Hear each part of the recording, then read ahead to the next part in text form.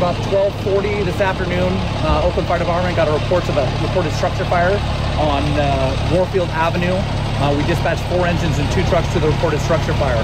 While en route, the truck behind me uh, was responding to a reported structure fire uh, when they were involved in a motor vehicle collision where they collided with a building. Uh, there was no civilian damages. However, we have three firefighters that were injured in the accident and uh, they were be currently being treated at Highland Hospital for moderate injuries. At this time, we don't know if there's any life-threatening injuries, but it's moderate injuries.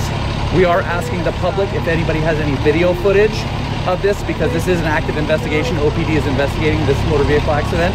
If anybody has any um, video image or still photo, photo images of it, uh, please uh, send those forward we're doing an active investigation on determining the cause. They were traveling on Grand Avenue, responding code three, which is lights and sirens to reported structure fire. Five total firefighters were on the truck with three firefighters having injuries. All firefighters on the truck, all five of them were evaluated and three of them were treated and transported to Highland Hospital. This truck is located at 4455 27th Street at station number 15.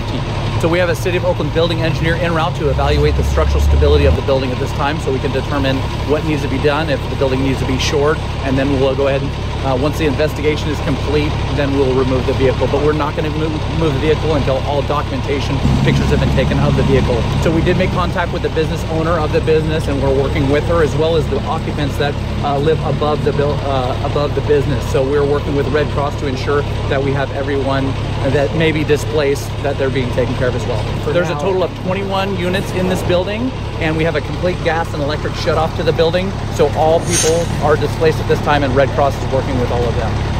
The firefighter who was driving the apparatus is one of the injured firefighters.